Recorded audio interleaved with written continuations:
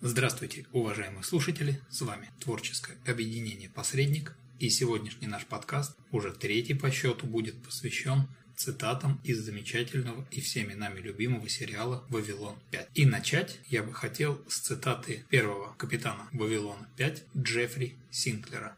Спросите 10 различных ученых, специалистов в экологии, демографии, генетике, и вы получите 10 отличающихся друг от друга ответов. Однако, есть одна вещь, в которой сходятся все ученые. Когда бы это ни произошло, через 100, тысячу или миллион лет наше Солнце станет холоднее и погаснет. Когда это произойдет, мы не просто погибнем. Погибнут Мерлин Монро, Лао Цзи, Эйнштейн, Мурупута, Бадди, Нолли, Аристофан. И все будет напрасно, если только мы не отправимся к звездам. Замечательные слова, на мой взгляд, которые показывают всю хрупкость человеческой культуры и цивилизации, когда она сосредоточена лишь в пределах одного маленького шарика, я бы даже сказал крошечного, в масштабах не то что Вселенная, даже Солнечной системы. Еще, конечно, хотелось бы упомянуть такую цитату Лонда Малари, касающуюся личности каждого из нас. Даже не то чтобы личности, а именно того образа, в котором мы предстаем перед большинством людей. Нас, центавриан, всю жизнь заботят условность, но когда я заглядываю под маску, которую вынужден носить, я вижу только пустоту. Ну, то, что Лонда во многом трагический персонаж, и так всем понятно. И при этом он действительно вынужден скрывать вот эту вот свою трагичность под маской такого цинизма, какой-то вот активности, наигранной зачастую. А по факту он все понимает. Ну, хотя помимо каких-то философских вопросов, Лонда достаточно четко высказывается и по политическим. Ну, вот, например, об императоре Картажье. Лишь идиот ведет войну на двух фронтах. Лишь наследник трона в королевстве идиотов будет воевать на 12 фронтов.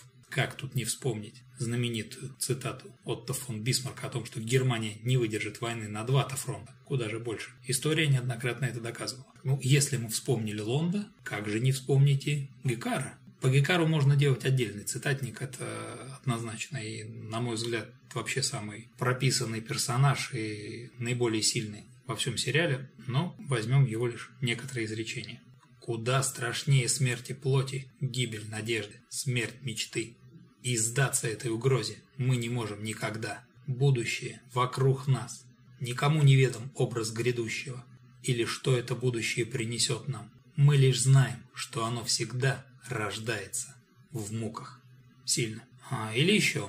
Здесь, конечно, это не собственные слова Гекара. Здесь он цитирует своего великого пророка Геквана. Гекван писал «Есть тьма страшнее той, с которой мы боремся. То тьма души, заблудшей и потерявшей цель. Война, что мы ведем, не против сил и государств. Это война против хаоса и отчаяния. Вот такие пророки у народа Нарна. Как мы помним, в Вавилоне 5 зачастую абсолютно не главные персонажи, я бы даже сказал второстепенные, могут сказать нечто такое, что вполне достойно цитирования на уровне с основными персонажами. Ну вот, например, отец Джона Шеридана, о котором мы делали отдельный подкаст, Дэвид Шеридан, старший. Он очень достойный человек, и хотя его роли во многом эпизодические, но все появления его в сериале являются абсолютно оправданными, и даже когда он фактически не появляется, ссылка на его слова выглядит абсолютно к месту. Вот, например, цитата в тот период, когда все думают, что Шеридан погиб на Заходуме, и Делен просматривает его видеоархив. Сам Джон Шеридан цитирует слова своего отца. «Если уж ты падаешь со скалы, то можешь попробовать полететь. Все равно терять нечего». Замечательные слова, которые четко характеризуют то, что человек даже в самой безнадежной ситуации должен пытаться найти выход, э, и вдруг получится.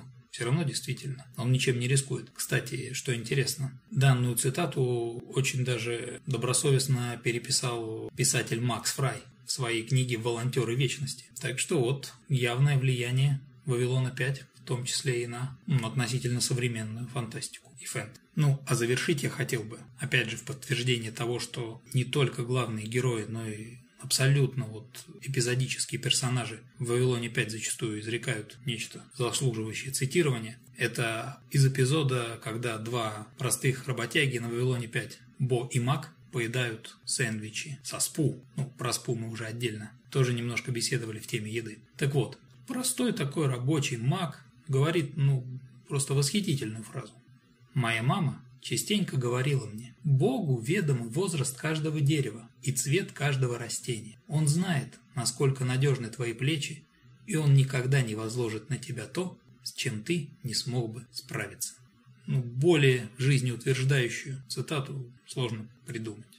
Так что я думаю, лишний раз мы все убедились в гениальности Стражинского, когда он писал сценарий «Вавилона 5» и придумывал в том числе реплики его героя. Титанический труд, заслуживающий уважения и того, чтобы его не забывали. Уважаемые слушатели, с вами было творческое объединение «Посредник». Большое спасибо за внимание.